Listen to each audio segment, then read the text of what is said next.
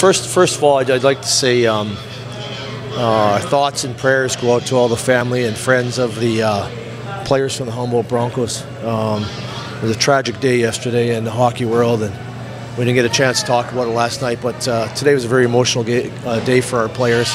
Um, a lot of uh, players and, and, staff members of this team have been touched or know someone who's uh, had, had been part of that tragedy in Humboldt. So uh, it was a, it was a horrible day yesterday, but uh, all our thoughts and prayers go out to the parents and the friends and families of the players of the Humboldt Broncos. Uh, as far as the season goes, you clinched a playoff spot tonight.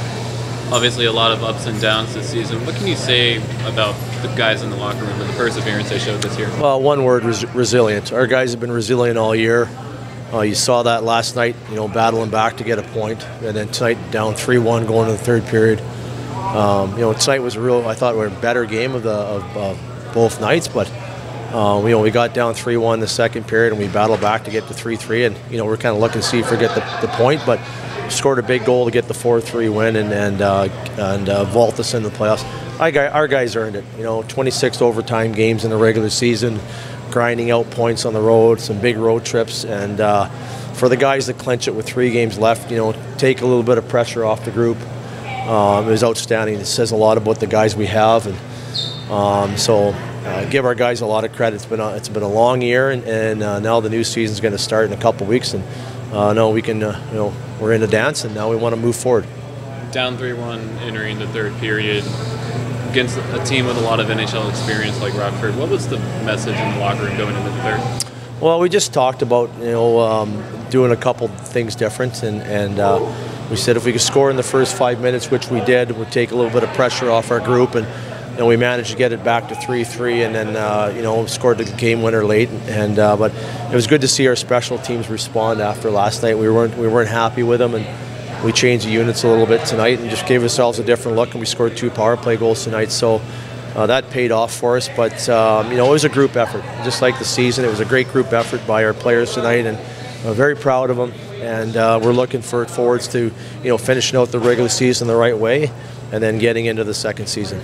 A few new look lines tonight, including Morin with Gurianov and Hintz to start the game.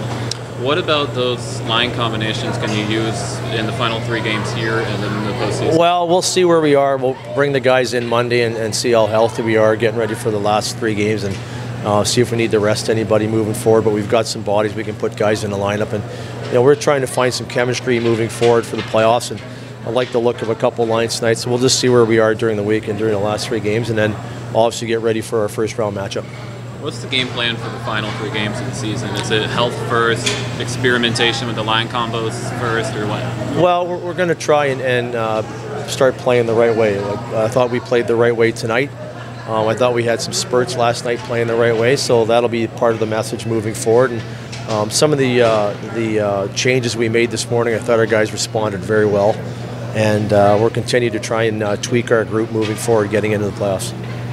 Thoughts on that last goal? I mean, kind of like the longest tendered star to the shortest one, I guess. You know, what are your thoughts on the last goal and the drop? Well, that's a good way to put it. You know, uh, Mo made a heck of a pass there to Joel, and uh, Joel got good wood on it. Joel's been with us for about a week and a half here now, and um, you know, he's really fit into the group. He's a big, heavy centerman. You know, he's playing the wall a little bit, not shift, but he's had some good looks and hasn't scored yet. So it's good to see him get the first goal tonight, and I'm sure that'll only help his confidence. But it's kind of neat to see you know one of the newest guys and, one of the older guys on to get the assist. But that's Mo. Mo can make a play at any given time, and uh, he set up a game winner tonight.